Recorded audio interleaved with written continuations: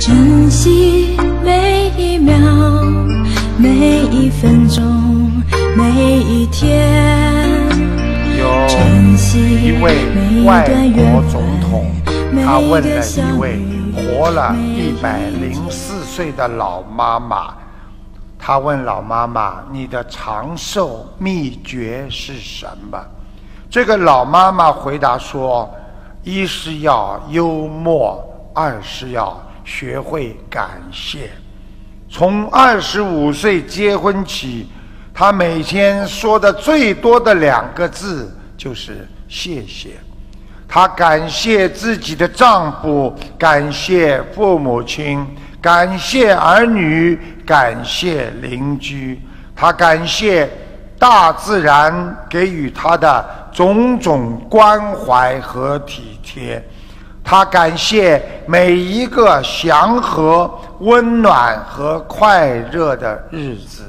别人每对他说一句话，他为他做一件平凡的小事，一张温厚问候的笑脸，他都忘不了说一声谢谢。八十年过去，这位老妈妈就是在“谢谢”两个字快乐成长，在“谢谢”两个字当中生命长久。有一位老师患癌症死了，他在临死之前留给人世间的最后一句话是谢谢。他谢谢日夜照顾他的亲人，他谢谢尽心为他治疗的大夫和护士，他谢谢前来看望他的亲人和学生。有的人在临死之前带走的是我恨呐、我恨这个世界，我恨所有的对我不好的人，他们为什么欺负我？为什么折磨我？带着恨死去的人，他不会有一个幸福感。有一位山区的农民，为了感谢收留他失走的失散的孩子，并把他送上回家汽车的好心人，他竟在一座小县城里挨家挨户的找了几千家，只是为了当面向那位好心人说一声谢谢。一个瞎女、盲女、看不见的女孩子，在妈妈生日的时候送给了她一份礼物，那是一点一滴扎在生日贺卡上的盲文。妈妈看不懂，请别人给她解释。没想到那段盲文竟让她泪流满面。那段盲文说：“妈妈。”谢谢你把我养大，虽然你没给我眼睛，但谢谢你给了我生命。虽然我看不见你，但我能感受到你善良的心。我永远爱你，你的女儿。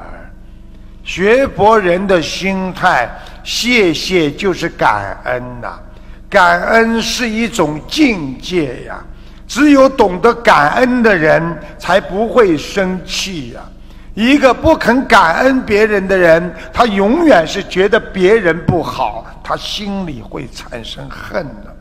只有感受到别人的温暖，你一生才会过得幸福啊！想一想，很多小夫妻吵架，就是忘记了对方曾经给你的爱。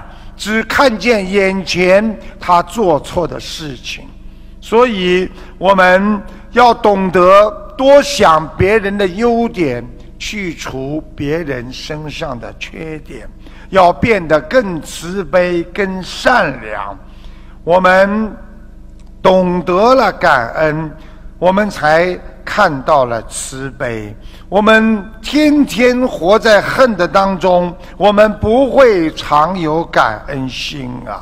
很多爸爸妈妈从小把我们养大，最后来到了澳洲，还要帮我们领孩子，最后孩子还嫌爸爸妈妈很讨厌、很麻烦，就是忘记了爸爸妈妈怎么小时候把我们养大的。想一想，要学会感恩，这就是佛法的精髓之一呀。一颗菩提心，照亮千万心，人人种下一颗菩提心，世界和平有。